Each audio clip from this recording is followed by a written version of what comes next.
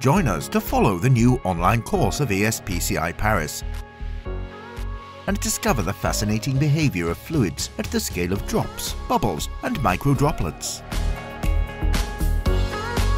Experience a different sensation of time with motion slowed down 20,000 times.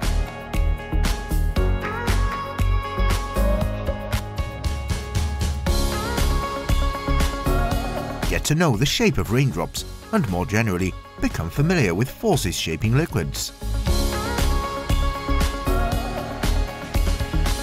With the latest developments of research on the physics of fluid interfaces, three internationally recognized scientists, David Quéré, Marc Fermigier and Christophe Clanet, will guide you through these mysteries.